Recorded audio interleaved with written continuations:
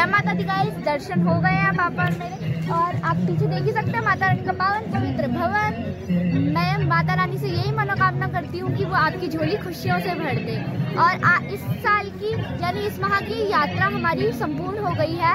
और माता रानी से यही प्रार्थना है कि वो आपकी झोलियाँ खुशियों से भर दे और आपकी सारी मनोकामनाएँ पूर्ण करे। जय माता दी।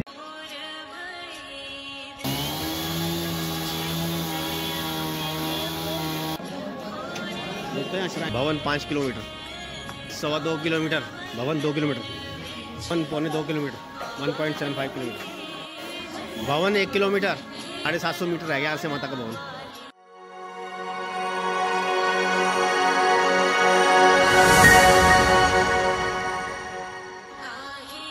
तो जय माता की दोस्तों स्वागत है आपका फिर से मेरे तैतालीसवीं यात्रा के सेकंड पार्ट वीडियो में।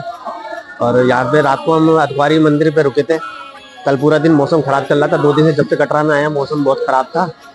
और आज माता रानी की कुछ ऐसी कृपा हुई है, धूप खिल चुकी है। मौसम एकदम साफ़ है।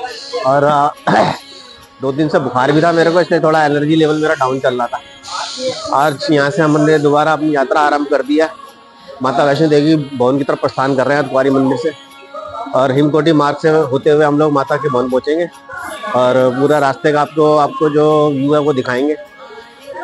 और कल रात को मैं यूट्यूब पे लाइव भी था आपने देखा होगा। और जो यात्रा जो अब नारी यहाँ से आरंभ होगी अब हेमकोटी मार्ग से हम सीधा भवन की तरफ़ पहुँचेंगे। और जो रास्ते में जो मुख्य मुख्य पड़ाव है इस मार्ग के आ, वो दिखाते हुए आपको भवन में पहुँचेंगे। और भवन के माता के दर्शन करने के बाद आपसे दोबारा कनेक्ट होंगे। तो बने रहिए वीडियो में। वीडियो को कृपया करके लाइक कर दें कमेंट में जय माता की लिखें और चैनल के साथ जुड़े रहें। जय माता दी। जय माता जी तो जयकारा शेरा वाली दा। बोल सच्चे दरबार की जय। जय माता दी। ये रास्ता जा रहा है अखबारी जहाँ से हम आए हैं ऊपर हम हम भवन की तरफ़ जा रहे हैं यहाँ से। काफ़ी संख्या में श्रद्धालु पहुँच रहे हैं माता वैष्णो देवी दर्शनों के लिए। ऐसा नहीं है कि भीड़ कम है। हाँ ये कहा सकते हैं नॉर्मल रश है। और ज़्यादा बहुत भारी भीड़ भी नहीं है और कम भी नहीं है। जय माता दी। धूप खुल चुकी है। पिछले तीन दिन से लगातार कटरा में और त्रिकुटा पर्व पे माता वैष्णो देवी के त्रिकुटा पर्व पे मौसम बहुत ख़राब चल रहा था। आज माता रानी की कृपा से धूप खिल चुकी है और मार्ग में अच्छे अच्छे भजन बज रहे हैं, जिनको सुनकर अलग से एक आनंद की अनुभूति प्राप्त होती है। चलिए बढ़ते हैं आगे वीडियो में। भवन पाँच किलोमीटर।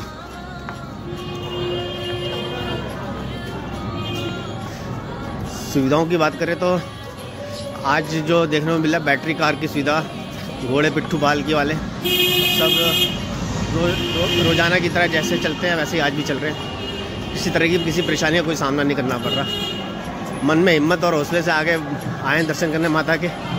अगर कोई परेशानी भी होगी तो माता रानी हर परेशानी को आपकी की हल करते हुए आपको फूलों की तरह ले आती है, फूलों की तरह वापस लेके आती है। तो भरोसा रखिए, किसी तरह की कोई परेशानी आपको नहीं होगी। जय माता की दोस्तों, स्वागत है आपका फिर से वीडियो में। दोस्तों, पूरे यात्रा मार्ग पे आपको ऐसे ही बहुत अच्छे अच्छे मधुर भजन सुनने को मिलते हैं माता वैष्णो देवी के। और भजन सुनते सुनते कब आप अपनी मंजिल माता के भवन पहुँच जाएँगे, आपको पता भी नहीं चलेगा। फ़िलहाल हम पहुँचने वाले हैं सत्या भोजनालय। मार्ग का एक अहम पड़ाव है। पड़ाव क्या एक भोजनालय है पहला मार्ग का। यहाँ लोग अपना श्राइन बोर्ड द्वारा जो खाने पीने की जो व्यवस्था की गई है और उचित दामों पर ये आपको यहाँ पे भोजन वगैरह मिल जाएगा। जानकारी अच्छी लगे तो लाइक कर दे। जय माता दी। ठंडक होता है तो मैं वैष्णो देवी श्राइन बोर्ड के द्वारा ये जो जगह जगह अंगीठी और अलाव की व्यवस्था की है ताकि लोग अपने हाथ वगैरह सेक के यात्रा में आगे बढ़ सकें। क्योंकि ये ठंडक बहुत है, हवा एकदम हाथ ठंडे में पड़े। ये मेरी बेटी। जय माता की दोस्तों, और कैसा लग रहा है एनर्जी लेवल कल थोड़ा बुखार बुखार की वजह से ना, ठंड बहुत थी और दो तीन दिन से मेरे को बुखार चढ़ रहा था तो एनर्जी लेवल डाउन था। तो आज थोड़ा फीलिंग बेटर ना हो तो अपना बढ़ रहे हैं अपना यात्रा की तरफ़, हिमकोटी मार्ग से। माता के भवन तक जाएँगे। और ऐसा कुछ नहीं है कि कोई परेशानी का सामना करना है। ना मौसम खुल चुका है, धूप खिली हुई है और यात्रा में आनंद आ रहा है। जय माता दी। जय माता की दोस्तों, स्वागत है आपका फिर से वीडियो में।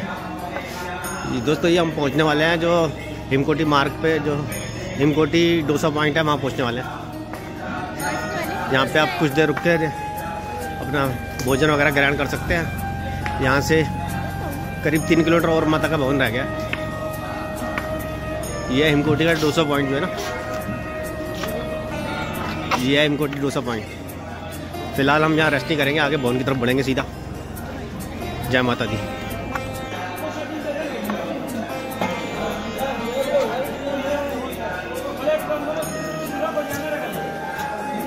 नहीं रखे, सामने नहीं रखे भाई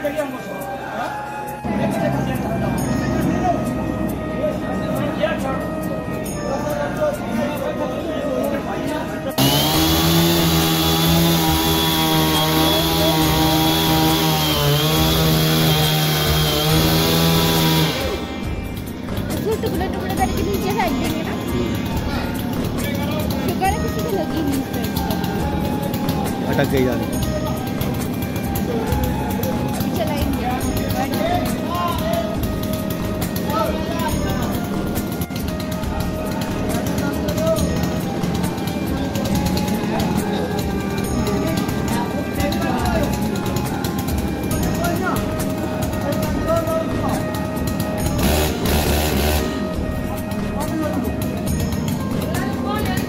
मशीन ही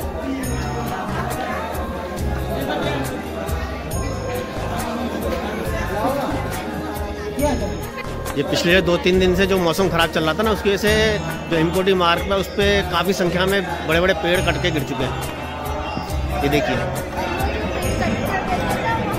क्योंकि बेहद ही नाजुक संतुलन है इन पहाड़ों पे ना। तो पीछे कुछ लोग दिखाए, मैंने दिखाया आपको वीडियो में, किस तरह से उसको पेड़ को काट के। क्योंकि ऐसा नहीं है कि वो पतले पतले पेड़ तो वज़न नहीं है।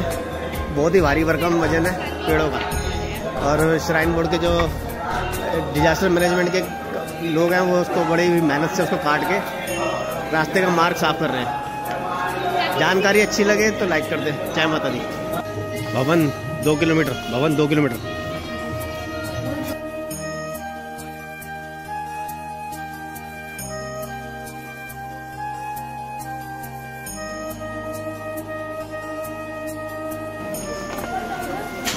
भवन पौने दो kilometre, one point seven five kilometre. चलिए, बढ़ते आगे। तो दोस्तों, हम पहुँच चुके हैं जहाँ से माता वैष्णो देवी के भवन के दर्शन होते हैं, पहली बार हिमकोटी मार्ग आप भी दर्शन कीजिए और कमेंट में जय माता की लिखिए, जय माता दी। तो चलिए, बढ़ते आगे अपनी यात्रा में। भवन की तरफ़ प्रस्थान करते हैं। भवन एक किलोमीटर।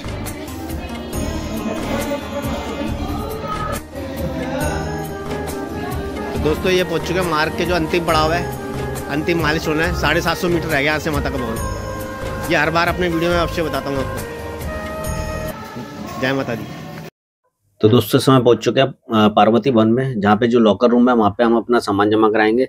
सामान के साथ ही जो हमारा जो मोबाइल वगैरह है, वो भी ऑफ़ करके हमें यहाँ जमा कराना पड़ेगा। तो तब तक के लिए वीडियो को हमें बंद करना पड़ेगा। तो दर्शन करते हैं माता के, उसके बाद दोबारा आपसे वीडियो में कनेक्ट होते हैं। जय माता दी। माता दी गाइस दर्शन हो गए हैं पापा और मेरे। और आप पीछे देख ही सकते हैं माता रानी का पावन पवित्र भवन। मैं माता रानी से यही मनोकामना करती हूँ कि वो आपकी झोली खुशियों से भर दे। और आ, इस साल की यानी इस माह की यात्रा हमारी संपूर्ण हो गई है। और माता रानी से यही प्रार्थना है कि वो आपकी झोलियाँ खुशियों से भर दे और आपकी सारी मनोकामना पूर्ण करे। जय माता दी। दोस्तों माता के दर्शन करने के बाद हमने भैरव के दर्शन कर लिए थे। यहाँ पे समाप्त होती है मेरी ये तिरतालीसवीं यात्रा, इसका समापन होता है। अब यहाँ से हम विदा ले रहे हैं माता के भवन से कटरा की तरफ़। और भविष्य में जब भी माता के दर्शन का बुलावा आएगा और फिर से दोबारा आएँगे माता के भवन पे, दोबारा आपसे कनेक्ट होंगे। चैनल के साथ बने रहें वीडियो को लाइक कर दें। और नए हैं तो चैनल को सब्सक्राइब कर दें। जय माता दी।